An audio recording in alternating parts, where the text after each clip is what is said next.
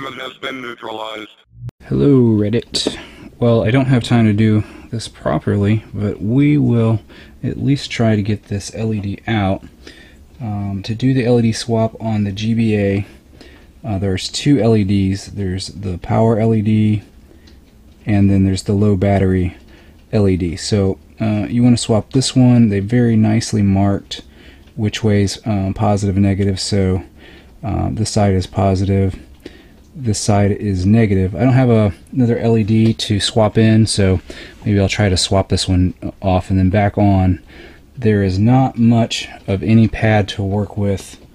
Um, they didn't leave uh, much there, so it's going to be a little tricky. The easiest way to do this would be with hot air, but most people don't have it. Um, they do sell a really cheap but yet good enough uh, hot air um, station on Amazon for about 60 bucks. I have that one. That's what I would use. I'm going to go ahead and try to do it with an iron because that's what most people have in. Um, I've done um, some like this before, so uh, I'm going to give it a shot. So I've got my, my Hakko FX888 set to about 345. Not too critical. And I'm going to try to add some solder to um, both sides. It's going to be hard because there's really no no pad there. So what I've done is ta-da! Took a piece of copper wire, some Cat 5, uh, a strand out of a Cat 5, and I've wrapped it around the tip of my iron, I'm holding it um, the other end with a hemostat, just so I can keep the tension on it and it's a little fiddly, but we'll see if it'll work. I've actually, I'm turning my iron up to, um, I don't know, 425. You can see the wire starting to turn all kinds of different colors. So, and the, what's going to happen is I'm going to use one side of the tip and the other side of that wire uh, on, on the, either side of that LED so that um, copper should transfer some of the heat to the other side and I should be able to knock that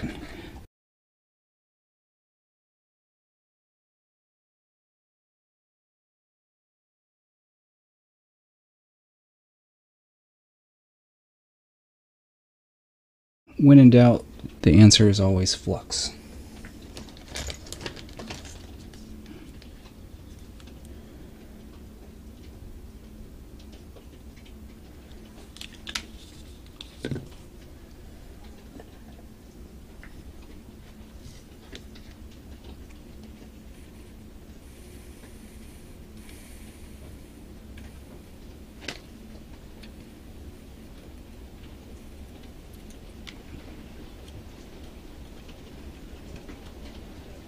Okay, I don't know if I got that on video, but there it was.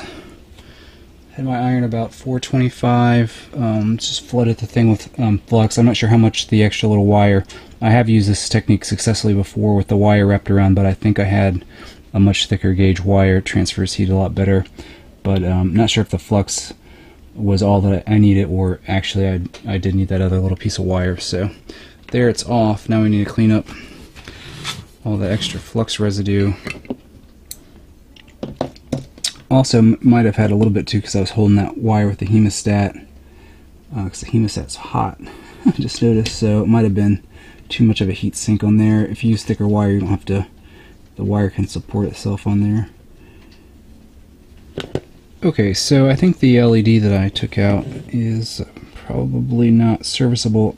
Actually I did find I went and found some LEDs and the ones I have are red, so it's not the, the one I would put in if I was going to mod mod it, but um, at least can try it out.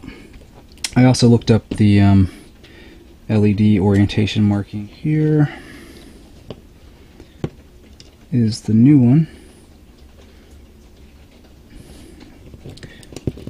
And I had um, had a couple from DigiKey or Mouser or something. Okay, I'm going to try to do this left-handed. Um, under this camera. It's pretty hard, so I'm gonna have to do it off camera, but yeah, I'm gonna have to do that off camera. It's a little too hard.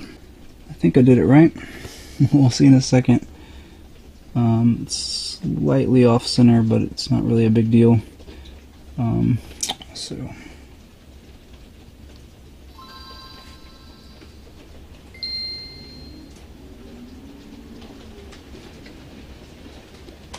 Well, I've, I've done something wrong. Let's see. Maybe I read backwards. I'm going to try flipping that LED the other way around. Maybe I just misunderstood. Well, this is a great learning experience, right? So you can see it um, a slightly different way. Ooh, howdy, that's hot.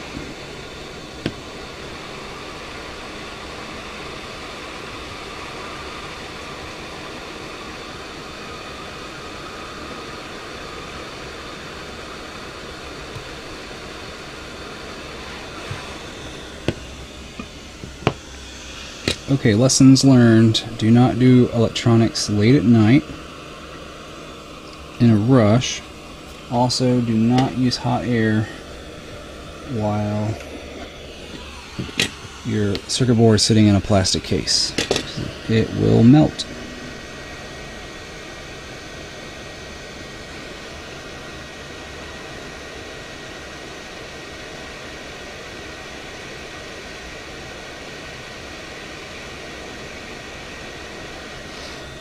Okay, so there's the hot air removal method.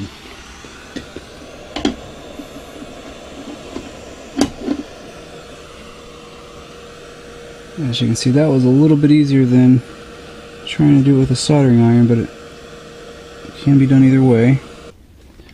Okay, a couple things. Uh, first, I've got the camera set up a little bit better so we can see the markings on this LED. That's the um, the T I was talking about and from what I really quickly looked at on the internet it seemed like it's it was saying that uh, the T pointed this side that would be negative but um, I think I could be getting a little confused but um, it seems like that's not true. It, it seems like this side is negative. Um, I was able to get it to work by putting this side on uh, the side I thought was negative on the board. I checked the board with my meter and verified that the silk screen is, sh is showing what I think it's showing. So I put this side of the LED on the negative side, I'll point to it in the board in a second, and this side on the right. Uh, let's see if I can get the board under there.